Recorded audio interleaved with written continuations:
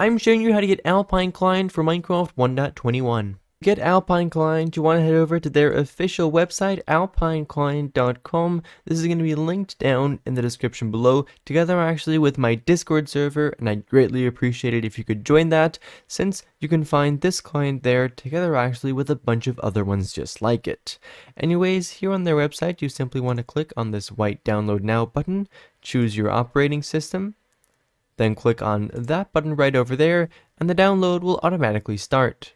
Now as you can see in my downloads, I have the Alpine client set up and I can simply double click on this just like so and that is going to open up. You can then click on next, next, next, and then on install. It's going to happen pretty fast and then we can click on finish right over here and that's actually automatically also going to open up Alpine client for you. Now in my downloads over here, all I have is the actual setup or installer, and we don't need this anymore, so if you want, you can delete that.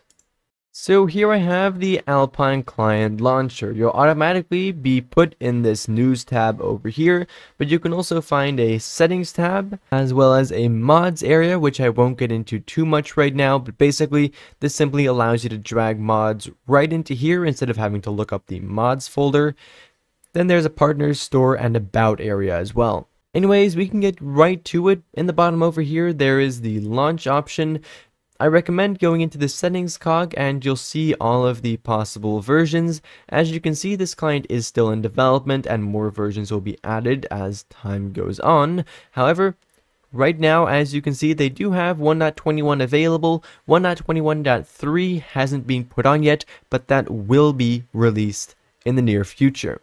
As you can see, this does also by default just come with Fabric. You can just select the version you want. In this case, I'm going to be choosing 1.21 and then as you can see, Fabric will automatically be selected. Now, once I've selected that, I can simply click on launch over here and Minecraft will open up. So I'm here now inside of Minecraft with Alpine Client. You do want to make sure that you are signed in you need to sign in because Alpine Client needs to verify that you do actually own Minecraft Java Edition.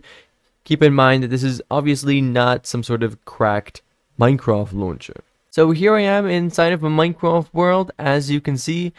Going into the escape menu, options, and video settings, you'll automatically notice that we do have Sodium installed by default. You're also automatically going to be running on Fabric, as I said earlier, which is obviously great.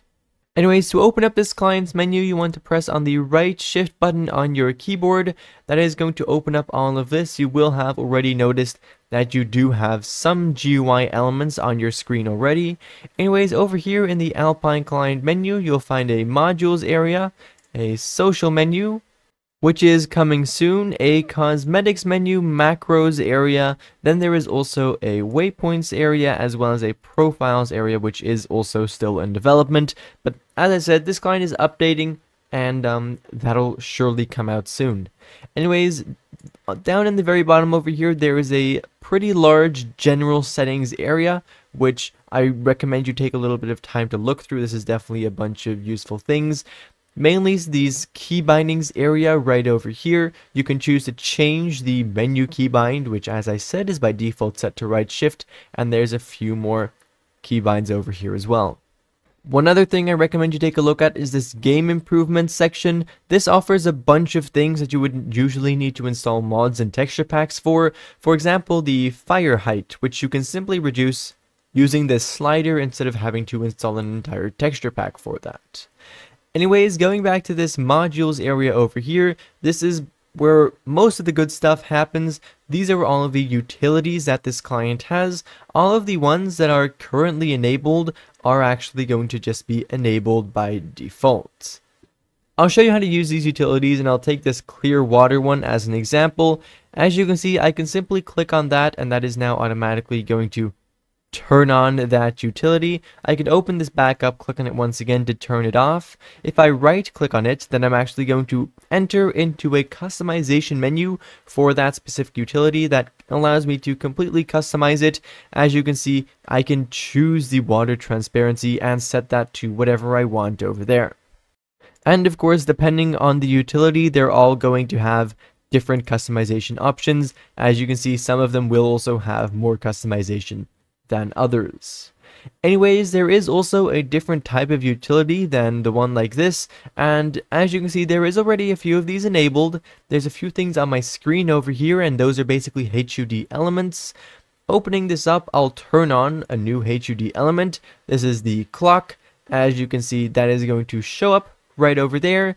You can edit this, and in this customization menu, you can choose the entire way in which this utility looks. And closing out of here, as you can see, that is now going to be on my screen. Now you'll also notice that for some of these HUD elements, they have been selected to only show up when you open up the Click GUI area. If you want to edit the location of these, you can click on this button right over here, the Edit HUD area, and then basically you can just select these utilities and move them to wherever you want. Now, say I don't want the clock over here, but I want it to be up here instead. What a great thing about this client is the fact that it has a bunch of grid snapping everywhere. It also snaps to the side of your screen. You guys know I love that. That's that is a must in an HUD editor, and I'm so happy that this client has it. Anyways, say I just wanted to put it up there, I can simply escape out of here, and it's locked up there now. So basically, for the rest, this should all be pretty self-explanatory. As you can see, you can also sort these modules by types, and all the HUD elements are of course right over there. Anyways, for the rest, that was basically that. Thank you ever so much for watching, and I do of course hope to see you again in the next one. Bye bye.